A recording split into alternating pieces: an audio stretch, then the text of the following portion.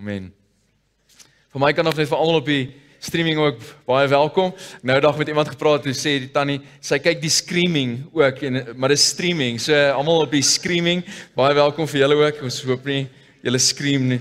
Maar in geval, ons is in die ons is besig met 'n 'n uh, reeks wat wat se naam is ondenkbaar. Ek het laasweek begin en dit vloei uit die reeks voor dit wat gaan deur nader oor ons verhouding met God en hoe kan ons nader aan God kom? En as jy van dit gemis het, wil ek jou regtig aanmoedig om op die op ons webwerf te gaan kyk. Gaan kyk hierdie preke of kry die preke op DVD's en series daar agter.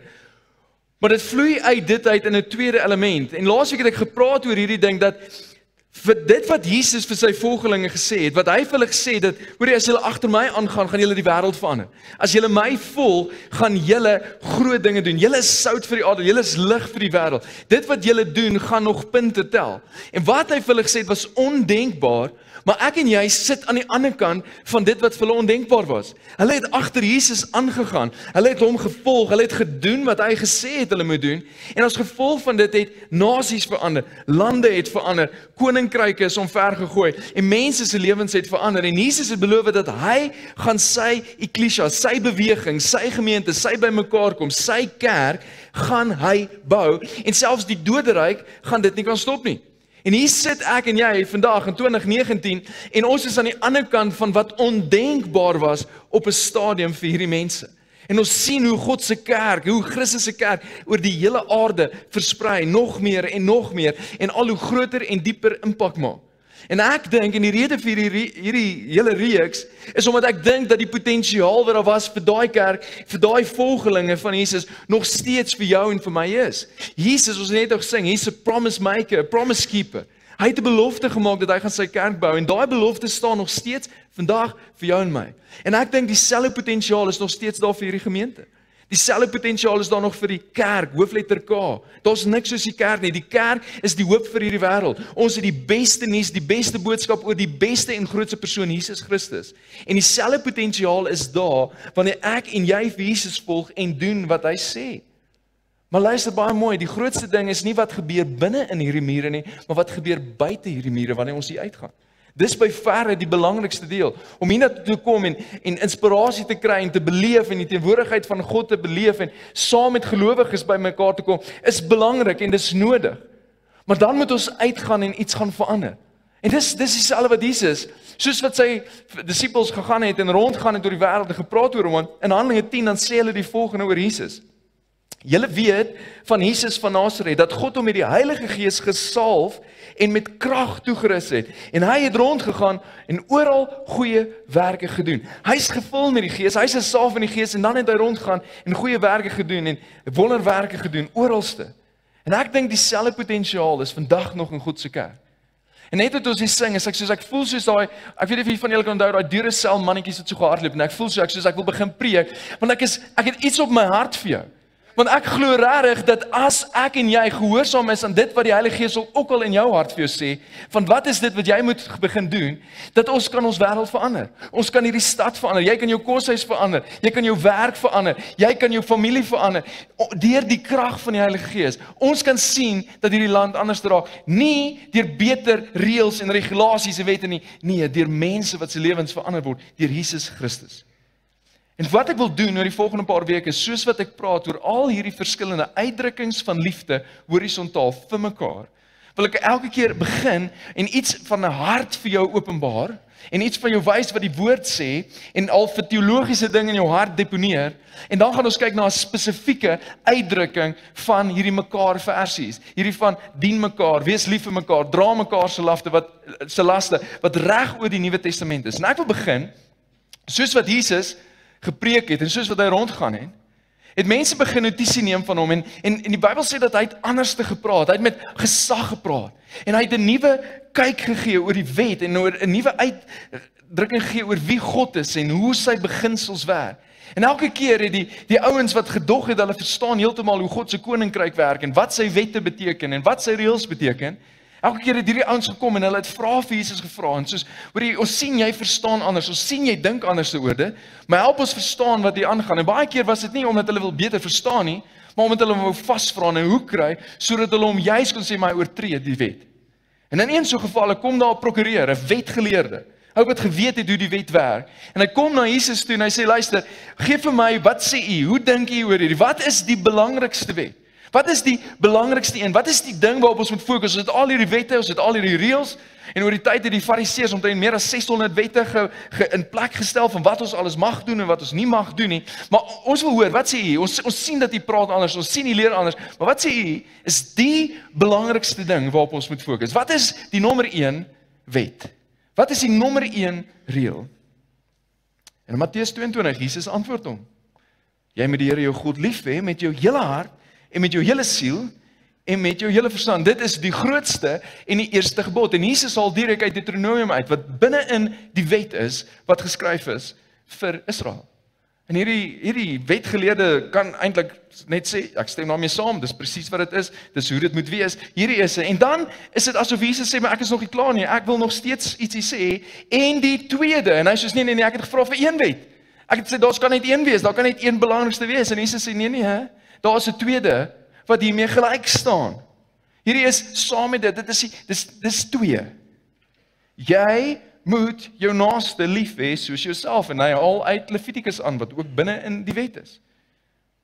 En dan sê hy in hierdie twee gebooie is die hele wet en die profete saamgevat. En wanneer Jesus praat van die wet, verwys hy na die eerste 5 boeke van ons Bybel en die profete is die res van die Ou Testament. En hy sê luister, ek wil iets verander, ek wil julle met 'n beter begrip kry, ek wil julle met iets anders verstaan. Soos die twee skaniere waarop 'n deur hang, is hierdie twee gebooie die skaniere waarop die hele Ou Testament vir ons doeleindes ophang. Dit is wanneer jy hierdie twee dinge doen, wanneer jy met alles in jou God liefhet en wanneer jy jou naaste liefhet soos jouself, dan gaan jy outomaties al die ander goeders doen. En Paulus sê dieselfde verder in die Nuwe Testament. Hy sê al hierdie gebooie van jy mag nie steel nie en jy mag nie egbreek pleeg nie. Al hierdie gebooie kan saamgevat word in hierdie. Hierdie som dit alles op. Hierdie is die deur wat oopmaak nadat jy in die, beweeg in die wil van God het, maar ook dat jy die deur oopmaak vir mense om na God toe gaan. Dis die twee skaniere waarop dit hang. En so het die mense geluister en was hierdie nuwe ding en wat op 'n volgende keer, toe staan weer 'n wetgeleerde, weer 'n prokureur wat kom en sê, "Oké, okay, oké." Okay. En dat sy hele punt was om 'n strikvraag te vra. Hy wou Jesus vasvra. En hy kom na Jesus toe en hy vra die volgende: Meneer, wat moet ek doen, Lukas 10, om die ewige lewe te verkry? Sê vir my, wat moet ek doen? En Jesus sê vir hom, wel, wel jy's die prokureur, jy's die wetgeleerde, wat sê die wet? Wat sê jy? Wel, jy moet die Here jou God lief hê met alles in jou, met jou hele hart, jou siel en jou krag en al jou verstand. En dan het hy geluister die vorige keer wat Jesus sê, en die tweede is jy moet jou naaste lief hê soos jouself. En hy haal Jesus se eie woorde aan. En Jesus sê vir hom, wel, great, jy het dit. Gaan doen dit nou. Dit was sy eintlike vraag nie. Sy vraag was die volgende: Maar die wetgeleerde wou homself handhaaf en vra vir Jesus: "En wie is my naaste?" Sê vir my, wie is die mense wat in hierdie boks sien val van my naaste wat ek soos lief het soos myself? Wie en dan watter vereistes moet hierdie mense voldoen sodat ek hulle kan lief hê? Sodat ek hierdie goeders kan doen. Wat is die vereiste van al hierdie ander mense om my? Wat se ras moet hulle wees? Wat se titel moet hulle hê? Hoe moet dit lyk? Want die Levitikus gedeelte wat Jesus aanhaal jy moet die naaste lief hê soos jouself, het gewys na jou volksgenote. Dit gewys na die ander Jode. Jy moet die ander Jode En Jesus begin dan vir hom 'n storie vertel. Hy begin hierdie storie vertel wat ons almal ken en as jy in kerk groot geword het, ken jy definitief hierdie. En al het jy in kerk groot geword het, jy al eers die term gehoor die barmhartige Samaritaan. En hy begin hierdie storie vertel van hierdie Jood wat aangeval word. En hy word beroof en hy word gelos vir dood. En dan kom 'n priester en dan kom 'n leviet verby en al twee hierdie ouens is belangrike werke in die tempel en in die ja, daai dag se godsdiens gehad en hulle sê ons kan nie nou in aandag gee nie. En dan doen Jesus iets om wat almal in hierdie skare eintlik skok. Heel moontlik het die meeste van die ouens in sy skare gedink dat heel moontlik was dit 'n Samaritaan wat hierdie ou aangeval het. Daar sou geen skade gewees het om dit te dink nie. Ons kan dit eintlik aanvaar. En Jesus sê vir hulle en toe kom daar 'n Samaritaan. En hulle sê, "Wo wo wo, gaan Jesus die Samaritaan die Here van die storie maak?" En hy sê hierdie ou kom en hy versorg hom en hy verbind sy wonde en hy tel hom op sy donkie en hy vat hom na herberg. En dan gaan hy aan en sê in die volgende dag en almal het gedink soos wat die volgende dag, daar kon nie nog 'n dag gewees het nie. In die volgende dag betaal hy die herbergien sê luister, hier's geld. En as dit nie genoeg is nie, as ek weer verby kom, sal ek jou verder betaal om 'n versorger hierdie man verder. En dan doen Jesus iets briljant. En in die oomblik draai Jesus die vraag van hierdie wetgeleerde vir hom met om. En in 'n oomblik verander Jesus die definisie van wat dit beteken om naaste te wees. In 'n oomblik verander hy dit vir almal van alle tye, vir jou en my in kluis. En dan vra Jesus vir hom die vraag: Wie van hierdie drie, hierdie drie mans, die priester, die leviet of hierdie samaritaan? Wie van hierdie 3 is volgens jou die naaste van hom wat onder die rowers verval het? Wie van hierdie 3 is die een wat 'n behoefte gesien het en dit nagekom het? Wie van hierdie 3 is die een wat die ander een liefgehad het soos homself, sy naaste? Wie van hierdie een? een? En hier is die eintlike groot ding, hy het sy vraag begin, hoe kry ek die ewige lewe? En hy het hierdie antwoord gegee en eintlik wat Jesus vir hom sê, wie is die een wat doen wat God wil hê? En binne in die wil van God leef. En ek dink daar was 'n oomblik wat hierdie ou net nie geantwoord het nie, wat hy net stil gebly het. Want hy het geweet wat ook al hy nou sê, gaan alles verander. En hy gaan verantwoordbaar wees vir wat ook al hy sê. En hy kon nie eers so sy lippe kry om die woord Samaritaan te sê en die wetgeleerde antwoord die man wat aan hom medelee bewys het. En toe sê Jesus vir hom: "Gaan, maak jy ook so." En ek wonder altyd, gaan ek hierdie ou in die hemel sien? Gaan hierdie ou daar wees? Het hy dit gaan doen? En so gaan dit aan. En aan die einde van Jesus se bediening, die aand voor sy kruisiging, sit hy saam met sy volgelinge in 'n vertrek. En hy stel 'n nuwe verbond in. Hy stel die nagmaal en hy sê luister, hierdie is die teken van 'n nuwe verbond. Van van hier gaan iets nuuts gebeur. God gaan iets nuuts doen. Hy het hierdie ou verbond gehad met sy volk, maar hy gaan iets nuuts kom doen en ek gaan dit in werking laat tree. En dan gee hy hierdie belangrike woorde wat hy vir sy disippels sê, luister, ek wil vir julle 'n nuwe opdrag gee. Ek wil vir julle 'n nuwe gebod gee. Ek wil vir julle 'n nuwe belangrike ding wat julle moet gee. Vir hierdie nuwe beweging van my wat in werking gaan tree, Ek wil vir julle iets nuuts gee.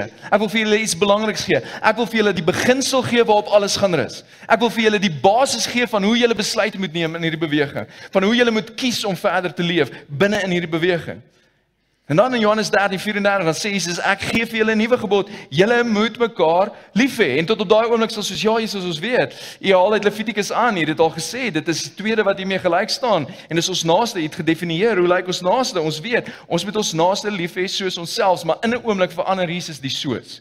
Nie meer soos jouself nie. Die verwysing is nie meer soos jouself nie. Die verwysing kom nie vanuit jou uit nie. Ek wil die soos verander, die baken, die lig, die punt van hoe jy dit meet.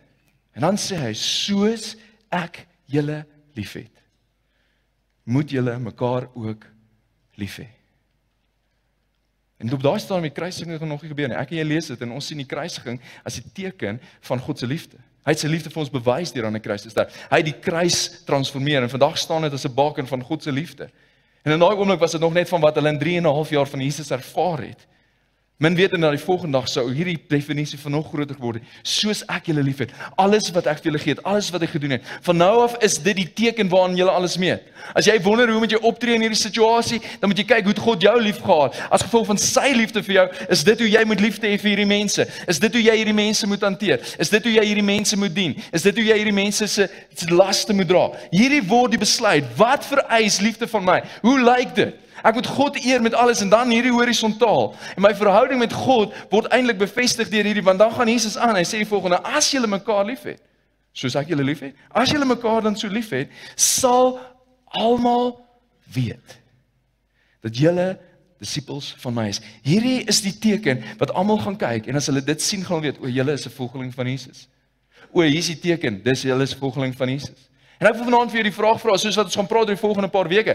As mense jou dophou en op jou spy vir 'n week lank, gaan hulle die teken sien dat jy is 'n volgeling van Jesus. Jesus sê luister, as julle mekaar liefhet, sal mense weet. Waarom wil jy hê moet mense weet dat jy vir Jesus volg? Is dit omdat jy kerk toe gaan? Is dit omdat jou Bybel in geel gehighlight is? Is dit omdat jy worship series het? Is dit omdat jy verse uit jou kop uit ken? Jesus sê, "Nee, niks van daai nie. Die teken wat ander mense gaan maak weet, is jou liefde vir ander mense." Hoe lief het jy ander mense? Meet jy dit nog aan soos wat vir jou gemaklik is? Vir die disippels het verander. Dis nie meer wat vir jou gemaklik is en soos jy jouself so liefhet nie. Nee, dit is soos ek jou liefhet. Dis 'n baie hoër standaard en baie verder. En wat gebeur in die res van die Nuwe Testament? Is eintlik al die opdragte wat die apostels gee, is uitdrukkings en toepassings van hierdie. Wanneer Paulus 'n lys gee van hier's goeders wat julle moet doen, hier's wat van Christene verwag word, dan is die basis van dit omdat julle ander mense moet lief hê soos Christus. Julle liefgaan. Wanneer Petrus praat, wanneer al die ouens praat, wanneer Jakobus praat, is die basis hierdie. In Efesiërs 5 skryf Paulus: omdat julle kinders van God is en hy julle liefhet, moet julle sy voorbeeld volg. Lewe in liefde. Ander vertaling sê wandel in liefde. Live the way of love. Dis die bepalende faktor. Hoe soos Christus ons ook liefgehad het en om ons ontwil sy lewe as 'n offergawe gegee het. Ja, offer wat vir God aanneemlik is. In Galasiërs 5 vers 6 sê hy in Christus Jesus is dit nie van belang of jy besny is of nie. Dit gaan nie oor hierdie Ou en Nuwe Testament goed nie. Al wat van belang is, al wat van belang is, is geloof wat deur die liefde oorgaan in dade. Al wat van belang is is nie eers geloof nie. Al wat van belang is is is hierdie geloof wat oorgaan in dade. Jesus het 'n opdrag gegee. Dit was 'n hy het liefde 'n werkwoord gemaak. Hy het sê julle moet iets gaan doen. En as jy gaan kyk in die Grieks waar daai woordjie is, julle moet mekaar lief hê. Dit is 'n aktiewe ding. Dis 'n ding wat nooit volëindig gaan word nie. Solank as wat jy asemhaal, is daar die potensiaal dat jy kan lief hê. Solank as wat daar iemand is, is daar iemand wat jou naaste kan wees wat jy lief kan hê. Dis 'n aanhoudende opdrag en dit gaan ophou die dag wanneer jy doodgaan. Dis 'n opdrag van Jesus. Wat vereis die liefde van God van jou? Wat vereis die liefde wat Jesus vir jou het van jou in elke situasie waar daar mense is? En oor die volgende paar weke gaan ons kyk na van hierdie spesifieke uitdrukkings van liefde. En een waarna ek vanaand wil kyk, is een wat ek dink so nodig is in die tyd waarin ons leef, en dis net bemoediging. Bemoediging. Wanneer jy mense kan bemoedig, wanneer jy hulle kan inspireer met hoop, wanneer jy moed in hulle kan inbou. Almal van ons het al oomblikke ervaar wat ons net down and out is, wat ons voel ons is diep in 'n gat, wat ons voel is soos vers, niemand ervaar wat ek ervaar nie. Niemand beleef wat ek ervaar nie. Niemand gaan deur wat ek ervaar nie. Niemand se situasie is ek dieselfde nie. En wat bemoediging doen is dit dit lig jou oë van jou omstandighede.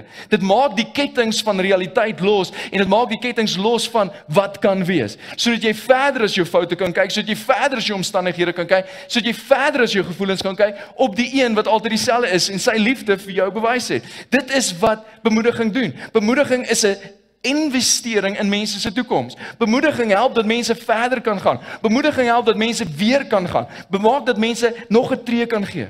Bemoediging is onselfsugtig. Dit vat nie iets nie, dis iets wat jy gee. Om iemand te vlei, doen jy dit sodat jy iets kan terugkry, maar wanneer jy iemand bemoedig, is dit juis omdat jy iets kan terugkry nie. Want die mense wie jy moet bemoedig is gewoonlik die ouens wat diep in 'n gat is wat in elk geval niks vir jou kan teruggee nie. En dis iets wat ek jy moet gee, weer en weer en weer. En as ons sê ons moet mense lief hê soos Jesus lief het, dan moet ons besef dat hy is 'n God van bemoediging. Ons moet lief hê soos hy. Hier is die ding wat Romeine 15:5 sê. En mag God die bron van alle standvastigheid en bemoediging. Hy is die bron van bemoediging. Dis wie hy is gee dat julle eensgesind onder mekaar sal wees soos Christus Jesus dit wil hê. Hy is die bron daarvan. Soos ons ander mense wil lief hê soos hy, hy is die bron van hoop. Dis baie so goed toe ek my voorbereiding gaan lees ek daar in Sagaria. En op 'n stadium is daar 'n engel. En hy sê soos dan en nou, soos Here, hoe lank nog gaan hierdie volk so suffer? En dit gaan oor die 70 jaar wat hulle in ballingskap is. En dit was my so goed. Hier's wat daai versie sê, God bemoedig selfs die engel. In Sagaria 1 vers 13 sê die Here het die engel vriendelik geantwoord en hom bemoedig. Dis oukei, dis oukei. Ons gaan weer. Ek gaan weer hulle terugkom. Moenie worry nie. Alles gaan fyn wees. Dis ons God. Dis wie hy is. Paulus skryf in 2 Korintiërs aan God, die Vader van ons Here Jesus Christus en in hierdie vier verse word moed en bemoediging 10 keer genoem aan die God die Vader van ons Here Jesus Christus. Kom al die lof toe. Hy is die Vader wat hom ontferm en die God wat in elke omstandigheid moed gee. In elke omstandigheid van jou wil God vir jou moed gee. In elke moeilikheid bemoedig hy ons. Daarom kan ons ook ander bemoedig wat in allerlei moeilikhede verkeer. Ons kan hulle bemoedig met dieselfde bemoediging waarmee God ons bemoedig. Want net soos daar vir ons 'n oorvloed van lyding is ter wille van Christus, is daar ook vir ons 'n oorvloed van bemoediging deur Christus. As ons dus in beproewing kom, is dit dat jy bemoedig en gered kan word. En as ons bemoedig word, is dit dat jy bemoedig om julle te bemoedig en te versterk. As jy nie weet nie, God se God van bemoediging. Hy wil jou bemoedig in elke omstandigheid en hy wil jou gebruik om ander mense te bemoedig in hulle omstandighede. In 2 Korintiërs sê hy selfe brief verder in 7:6 sê maar God wat die neerslagtiges opbeer, het ons ook opgebeer. Miskien is jy dan en nou, daar's 'n God wat jou wat op wat jy wil opbeer, 'n God wat jou wil bemoedig. En dis hoe jy jou liefde wys vir ander mense. So wie moet ons bemoedig? Kom ons begin. Nommer 1 is die is die ouens wat jy moet bemoedig, is die ouens wat bemoediging nodig het. Hier's wat Jesaja 35 sê, bemoedig die wie se hande slap. Help die wie se knie knik. Sê vir die wat moed verloor het, wees sterk. Moenie bang wees nie. Julle God is hier. Besef jy die krag wat in jou mond is? Besef jy die krag en die potensiaal wat jy het om ander mense te bemoedig? Want jy ander mense kan help om te sien hoe God hulle sien, om ander mense te help om te fokus op God. Moet nooit die mag en die krag wat in jou hand is om mense te bemoedig onderskat nie. Spreuke 3:27 sê moenie 'n weldaad weerhou van iemand aan wie dit toe kom terwyl dit in jou mag is om dit bewys nie. Moenie iets weerhou wanneer jy iemand kan bemoedig nie. Wie moet ons bemoedig? Ons moet mekaar bemoedig. Hier's wat Hebreërs 10 sê. Laat ons ook na mekaar om sien daar's die woordjie deur mekaar aan te spoor tot liefde en goeie dade. Ons moenie van die samekomste van die gemeente af wegbly soos party se gewoonte is nie. Maar mekaar eerder aanmoedig om daarin te gaan. En dit dis te meer na mate jy die oordag sien kom. Wat hy sê is, julle moet vir mekaar sê, "Hey, ons gaan kerk toe, wil jy nie saamkom nie?" Kom aan, moenie wegbly van die gemeente af nie. Moenie wegbly van die samekomste nie. Kom saam, hier's klomp kursusse wat aanbied. Kom saam, hier's dienste. Kom saam, kom doen dit. En luister baie mooi, hier's eintlik wat ek wil hê jy moet doen. Moenie net kom om iets te ontvang nie. Ek wil jou bemoedig. Ek gaan jou bemoedig deur die prediking. Dis ons hart. Ons wil hê jy moet uitstap met 'n ander gesindheid. Yes, ek wil dit hê. Maar wat as jy kom met die gesindheid? Okay, wie kan ek voorbid? Vir wie kan ek bemoedig? Daar's iemand wat dan, hey, hey, welkom hier by die kerk. Awesome. Ek hoop dit gaan goed met jou. Mag die Here jou seën. Wat kan gebeur? Wat kan gebeur? 1 Tessalonisense 5:14 sê praat die kleinmoediges moed in. Het jy klein moed? Kry iemand wat moed in jou kan inbou sodat jy groot moed kan kry. Doen dit weer en weer. Bemoediging versterk mense. Bemoediging maak dat mense weer kan aangaan. Hier's 'n paar spesifieke voorbeelde. Nommer 1 is vriende. Daar's niks soos 'n vriend wat jou kan bemoedig nie. In 1 Samuel 23, Dawid Saul wil hom doodmaak, koning Saul wil hom doodmaak en Dawid vlug. Hoor wat hier gebeur. Toe Dawid besef dat Saul steeds daarop uit is om hom dood te maak, is hy na Goresa toe in die Sif woestyn. En ek dink dis 'n spesifieke naam. Party van julle voel jy's in Sif woestyn. Alles is sif en sleg en bad. En Dawid sit in die Sif woestyn. Maar kyk sy vriend, Jonathan kyk sy vriend. Nie net as hy soos, "Hey, hoe gaan dit? Ek hoop jy's okay daar in die Sif-woestyn. Ek hoop jy maak dit nie." Nee, hy maak klaar en gaan na hom toe in die Sif-woestyn. Kyk wat daar staan. Vers 16: Jonathan seun van Saul het toe klaar gemaak en na Dawid toe in Geresa gegaan. En wat het hy gedoen? En hy het hom bemoedig in die vertroue op God. Hy het hom nie net bemoedig nie, hy sê sit jou oë weer op die Here, fokus weer op die Here en hy het hom ontmoet daar waar hy is in sy diepste gat. En party die beste vriende van ons moet wees, jy moet saam met hom in die gat gaan sit soos hy man. Ons is onder in 'n gat. Kom ons sit ons voor op daarbo. Daar, God wil jou help. Hy is die God van bemoediging en hy kan jou help in hierdie sê, kom ek help jou. Kom ons klim uit hierdie gat uit. Kom ons kom uit die sif woestyn uit. Wees daai vriend. Moenie net wag vir daai vriend, jy wees daai vriend. Tweede voorbeeld wat die Bybel baie duidelik uitlig is leiers. Daar's mentors en leiers in ons lewe wat jy moet bemoedig. Deuteronomium 3:28 praat God met Moses, maar dan praat hy spesifiek oor die volgende leier Josua. Hy sê: "Gee vir Josua sy opdragte, praat hom moed in en gee hom raad." Daar's mense vir wie jy kan moed inpraat, daar's leiers en mentors vir wie jy dalk moet dankie sê en bemoedig. In Daniël 11 wat gebeur is daar Daniël het hierdie hierdie visioen wat hy sien en hierdie boodskapper van God kom en is my so goed dit wys net weer eens wie is God. In Daniël 11 vers 1 dan sê hy luister ek is boodskapper, ek is hierdie hierdie hemelwese wat God gestuur het. Ek het 'n spesifieke taak vir die koning gehad. Hoor wat sê hy in Daniël 11 vers 1. In die eerste regeringsjaar van Darius die Medeer het ek opgetree om hom te bemoedig en te beskerm. God stuur mense, engele en wesens om jou te bemoedig en te beskerm. Moenie wag vir hulle nie. Wees jy die vriend en doen dit. Ons het 'n God van bemoediging. Die derde voorbeeld, en hier is dalk die moeilikste een. Die mense wat verkeerd teenoor jou opgetree het. Die Bybel sê spesifiek jy moet hulle bemoedig. 2 Korintiërs 2:7 daar waar Paulus sê luister God het ons opgebeur. Nou moet jy so iemand, iemand wat jou sleg behandel, liewer vergewe en bemoedig. Anders kan hy so hartseer word dat hy heeltemal moed verloor. Daarom vra ek julle bewys, hier's dit weer, liefde aan hom. Wie het jou al seer gemaak? Wie het jou al te nagekom? Miskien die beste manier hoe jy liefde kan wys is om te vergewe en om moed in te praat. Miskien voel hy al reeds skuldig. Wanneer? Wanneer moet ons mense bemoedig?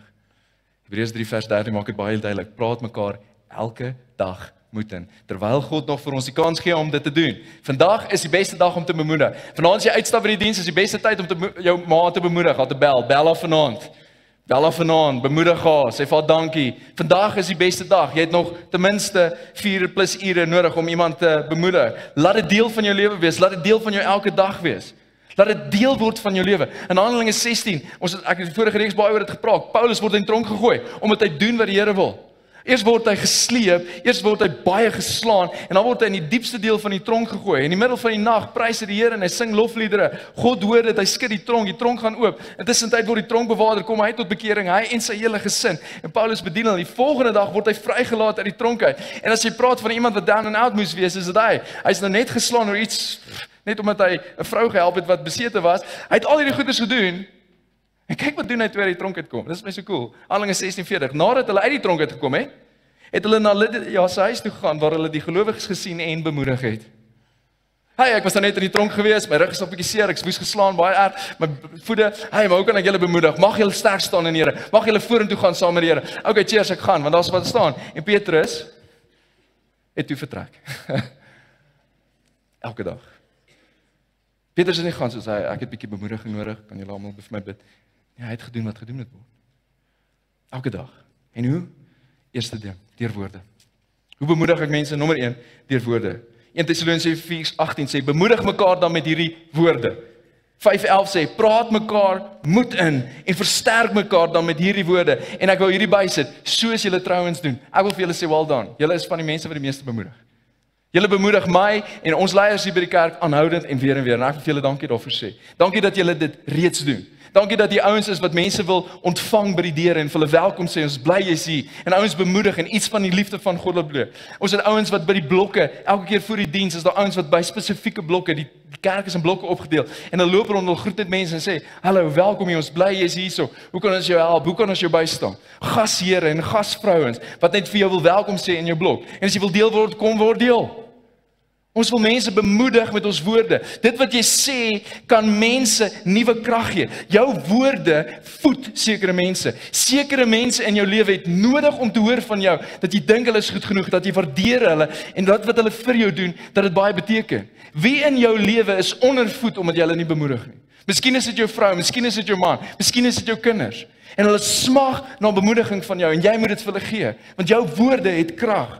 Hier's wat ehm um, Spreuke 10:21 sê die regverdiges bring lewe deur hulle woorde.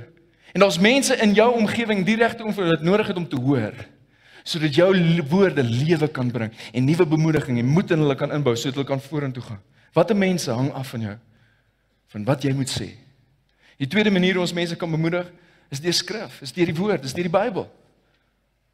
Partykeer is dit nodig as jy aan iemand ding of hulle verse stuur. Hier's wat Romeine 15:4 sê, alles wat vooraf in die skrif opgeteken is, is tog opgeteken om aan ons te leer sodat ons deur die standvastigheid en die bemoediging wat die skrif ons gee, vol hoop kan wees. Het jy al 'n vers op die regte tyd gekry van iemand? Wie is jy die een wat dit stuur volgende keer? Hoop jy maar ken net een versie, stuur hom. Leer nog een, stuur hom ook. Bemoedig mense. Die woord van God is lewend en kragtig. En dit bou hoop in mense se lewens in. Nommer 3 deur gebed. Partykeer het iemand nie nodig dat jy vir hulle versie quote nie. Partykeer het iemand nie nodig dat jy vir hulle raad gee nie. Partykeer al wat iemand nodig het is dat jy langs hulle gaan sit en sê, "Kan ek vir jou bid?" Jy hoef nie vir my die detail te gee nie. Jy hoef nie vir my die omvang te gee nie. Ek wil net vir jou bid. Jakobus 5 vers 16 sê die gebed van 'n gelowige het 'n kragtige uitwerking. Bid vir mekaar. Bid vir mekaar. Na die diens het ons mense wat saam met jou wil bid. Ja, maar ken hulle nie. Kryt. Laat hulle vir jou bid. Jy hoef nie al die details te deel nie. Laat hulle vir jou bid. Laat hulle vir jou intree. Laat hulle geloof het wanneer jy voel jy het nie geloof om in te tree vir hierdie saak nie. En laat hulle oor jou bid en vir jou bid. Bid vir mekaar. Wie is die mense in jou lewe vir wie jy moet bid? Dan nommer 4 deur gawes en talente. God gee sekere gawes deur sy gees en die doel van gawes is vir die opbou van die liggaam, is vir die opbou van mekaar. En een van die gawes in Romeine 12 vers 8 sê is bemoediging. As jy die gawe het om te bemoedig, bemoedig dan. So baie van julle, jy het 'n gawe van die Heilige Gees gekry om ander mense te bemoedig. En baie van julle het nie die gawe nie, maar jy kan nie dit as 'n verskoning gebruik nie.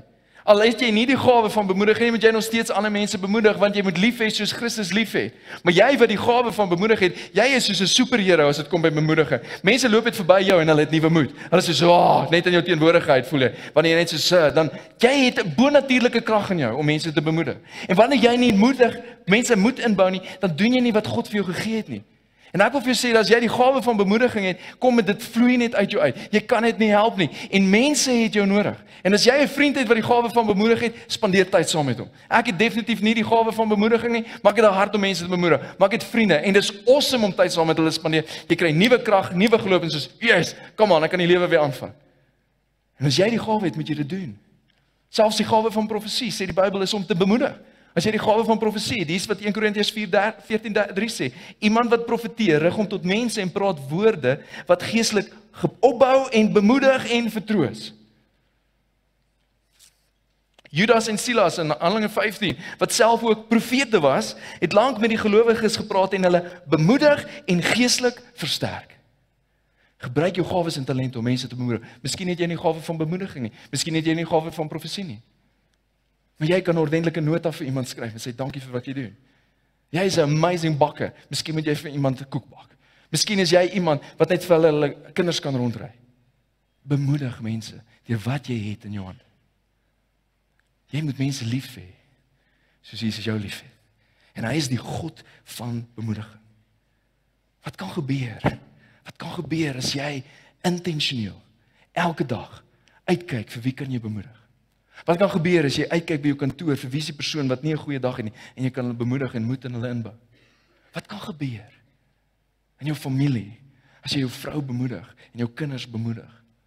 Wat kan gebeur in jou vriendekring as jy die een is wat altyd moed gee wanneer hulle voel kan nie meer nie, toets is te veel, eksamens is te veel, druk is te veel en jy sê iemand sê kom aan, ons kan dit weer doen. Let's go. Keep going. Daar's 'n God. Hy is groter. Wat hy kan doen is groter. Wat kan gebeur as jy die een is wat mense versterk in hulle geloof en soos kom ons gee nog 'n tree saam met Here. Met hom is alles moontlik. Hy kan oneindig meer doen as wat ons kan bid of dink of vra. 'n Stap 'n pad saam met hom, bly agter hom aanloop. Dis alles die moeite werd. Wat kan gebeur in mense om jou se geloof? Volgende week gaan ons vir julle 'n challenge uitgee. En eintlik moet jy die dop hou, hou kerk se sosiale media dop van die 1 Augustus af. En ons gaan elke dag gaan ons iets gee vir die volgende maand, Augustus. Idees vir jou om te help om hierdie mekaar uit te leef, om ander mense te bemoedig, om ander mense te dien, om ander mense lief te hê soos Christus jou liefhet. En dit gaan praktiese goeders wees en dit gaan heel, heel moontlik iets van jou vat en dit gaan jou heel moontlik iets kos en party goed gaan jou niks kos nie. Maar ek wil jou challenge to step out in faith. En die one another's, die mekaar in, liefde vir mekaar en te kyk wat gebeur. Jesus het sê dis by ver meer geseënd om te gee as om te ontvang. En te kyk hoe jou wêreld verander. En van die eerstes wat ons gaan uitsit is juist hoe om mense te bemoedig. Party gaan ook net wees, skryf met jou hand en 'n pen, actually 'n briefie. Nie 'n WhatsApp nie, nie 'n e-mail nie. Jy kry seker goed penne en jy skryf op papier. Jy sukkel deesdae om gekleurde papier te kry, maar jy kry dit nog. En jy skryf actually vir iemand 'n nota. Wat kan gebeur? Wat kan gebeur as jy actually in die pos vir iemand iets gooi? Poskantoor seels ou sal praat oor dit. Maar anyway. Wat mag gebeur? Wat gebeur as jy wel 'n e-mail skryf? Ek wil jou aanmoedig ons. Ek wil iets in jou losmaak sodat jy sal uit dat jy sal optree en sê, "Oké, okay, ek wil my liefde. Ek wil die teken van dat ek behoort aan Jesus wys." Ek wil hê wanneer mense 'n week op my spaai en my dop met 'n verring soos ja nee definitief volgeling van Jesus. Kyk net hoe lief het hy. Kyk net hoe lief het hy. Come on. Ons gaan nie baie praat oor die julle mekaar lief hê met 'n soenie. Dis dalk vir 'n spesifieke tyd en dalk sit jy oorkant iemand wat jy dalk daai versie wil gee, maar ons gaan nie oor hom praat nie, maar ek wil jou challenge. Ek wil jou challenge. Kom ons kyk wat net in die volgende maand gebeur. Wat sal gebeur? Wat sal gebeur as ons net vir Augustus maand elke dag ander mense lief hê soos Christus ons lief. Wat sal gebeur net vir die volgende maand as ons dit net 'n maand probeer? En jy doen meer. En jy sê meer. En jy bemoedig meer. En jy het meer liefde vir ander mense. Wat kan gebeur? Wat kan gebeur? Vader, ons eer U dat U is die God van bemoediging. In elke omstandigheid gee U moed sodat ons weer ander mense kan bemoedig. En ek bid Here in die naam van Jesus dat ons sal bekend staan as 'n kerk wat die liefde van Christus vrylik uitdeel. Dat ons 'n gemeente sal wees wat duidelik kan sien dat ons volg U omdat ons ander mense liefhet. Dat ons die opdrag wat U vir ons gegee het, nie dit wat ons moet glo nie, dit wat ons moet doen, omdat ons dit uitleef en ander mense liefhet soos U ons eerste liefgehad het. U het alles vir ons gegee. Daar's geen verskoning vir ons nie. Maar ek bid Here dat U vir ons kreatiwiteit en kreatiewe maniere sal gee om ander mense lief te hê en te bemoedig. En dat daar iets in hierdie stad sal versprei. 'n Aangename geur wat mense wyd buite die mure van hierdie kerk bereik. En wat mense tasbaar die liefde van God wat vir hulle lief is, kan ervaar op 'n fisiese manier. Dat mense weer hoop kan kry in hierdie land. Dat mense weer hoop kan kry in hulle omstandighede. Dat mense weer hoop kan kry in hulle gat waarin hulle sit deur die liefde wat u kerk, u mense, u volgelinge versprei. En ek bid Vader, ek bid vir geloof dat u geloof sal wakker maak in almal se harte vir dit. That we will step up and obey.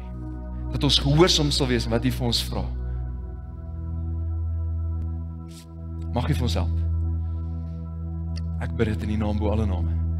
Die naam van Jesus Christus. Amen. Amen.